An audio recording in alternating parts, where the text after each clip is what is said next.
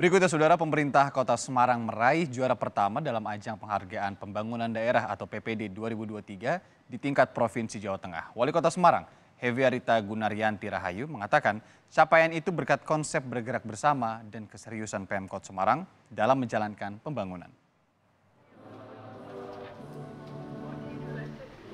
Penghargaan pembangunan daerah PPD tingkat Provinsi Jawa Tengah ini diberikan bersama dengan kegiatan musyawarah rencana pembangunan musrenbang di Gedung Gradika Bakti Praja Semarang.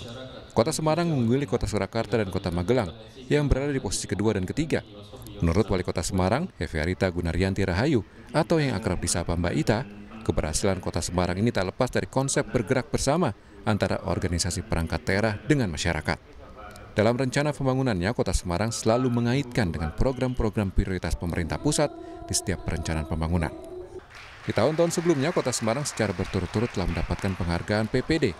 Bahkan tahun 2022, Kota Semarang tidak disertakan karena telah mendapatkan penghargaan tiga kali berturut-turut.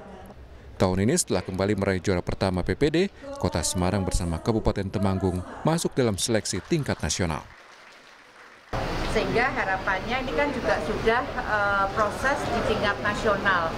Mudah-mudahan nanti di tingkat nasional uh, Kota Semarang bisa meraih lagi penghargaan untuk juara pertama. Tentu ini merupakan uh, adalah bentuk gambaran bagaimana konsep bergerak bersama yang ada di Kota Semarang dan perencanaan ini juga terkait atau bisa, uh, ada benang merahnya dengan program-program yang menjadi instruksi dari Bapak Presiden.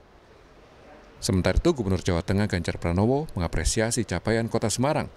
Ganjar yakin target pertumbuhan ekonomi Kota Semarang tahun ini bisa mencapai angka 6. Pertemuan ini juga diikuti dengan indeks pembangunan manusia yang tinggi sebagai ciri karakteristik masyarakat kota.